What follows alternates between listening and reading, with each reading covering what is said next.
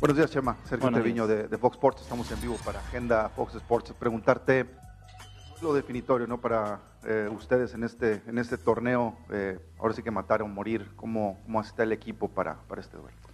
Sí, sí, sí. eh, somos conscientes de lo que nos jugamos el, el sábado.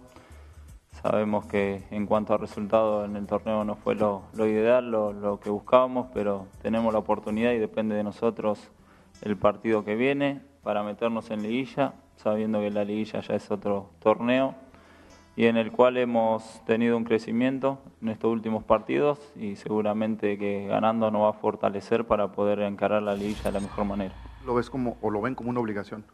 Sí, es una obligación. Es, el plantel está diseñado y hecho para entrar entre los primeros cuatro a la liguilla, pues ese es el objetivo. Ese no lo hemos cumplido, pero sí podemos entrar y en definitiva buscar el, el objetivo principal que es el campeonato.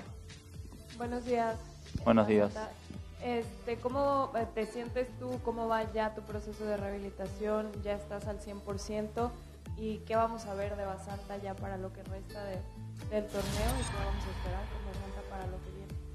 La verdad me siento muy bien. Sí, fue un poco larga la, la lesión, eh, un poco tardada, pero eh, me he sentido muy bien a lo largo de, de estos meses. De a poquito fui mejorando. Y bueno, y el partido de- del sábado era importante también para ver cómo, cómo iba a estar. En principio iba a jugar 45 minutos, después terminé jugando 90 porque me sentí muy bien. Entonces eso me, ayuda a poder seguir trabajando y veremos estos partidos que, que vienen, los, los entrenamientos, a ver cómo, cómo me siento. Pero hoy me siento muy recuperado. Por este lado, José, buenos días. Carlos Morales, TUDN. Eh, dejando a un lado lo que fue el, eh, la época de este torneo en la que no les fue tan bien con la llegada ahora de Antonio Mohamed, ¿cómo has percibido tú la evolución del equipo y qué percibes también de tus compañeros teniendo esta prueba del próximo sábado? Eh, los percibo muy bien, muy metidos, muy concentrados en lo que, en lo que viene.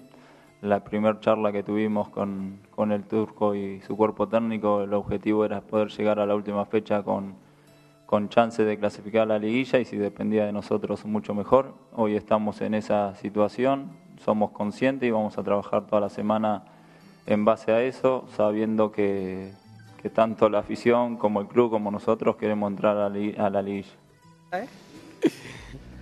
Bueno, ahí están las palabras de Oye. Basanta, Rayados, ¿no? Un abrazo ¿Qué- al qué señor Alex qué traes Blanco. tanta Déjame- risa? ¿Sabes qué? Alex Blanco siempre nos ve. Alex Y Blanco. quiero un Alex. abrazo. ¿Sabes por qué? Porque él va a Alex. estar muy pendiente de lo que pasa en Rayados de Monterrey. el Ah, bueno, próximo y fin de estábamos. Porque tiene esperanza de- de Pumas Sí, No, contra porque tiene una Pachuca. apuesta. No, Ah, tiene, yo no, no. No, espérame, Tiene una apuesta con Mohamed. Llegó, Ah, llegó, ok. llegó Mohamed al equipo de Rayados y francamente solamente Mohamed y probablemente Rubén creían que iban a clasificar. Nadie creía que iba a clasificar Monterrey. No, no, no te pases y gobiernate. O sea, todo el mundo tenía sí esperanza en creía. el turco, claro. Yo sí creía No, que Monterrey iba a ver. clasificar. No me yo- digas yo- a ver, eso. ¿Cómo no? ver, Con el plantel que aquí. tiene. Bueno, todavía no clasifica. ¿eh? Todavía puede no clasificar. necesitaría, hubiera Y yo traído a que Mohamed, clasifica. te lo dije Mariana, necesitaban un técnico Comprendo lo que dice- Bueno, lo está haciendo Rubén y el turco, Sí. perdón. Estamos a espera de que falta una jornada, pero la verdad es que no pensamos que Monterrey iba a llegar a estas instancias Jugándose por un boleto. Yo también pensé que iban a calificar, pero sí pensándolo bien, híjole, no le ganaron a Veracruz. Luego Atlas es el equipo más gitano después de jugadores que te puedes encontrar en el A fútbol lo que voy es mexicano. que aquí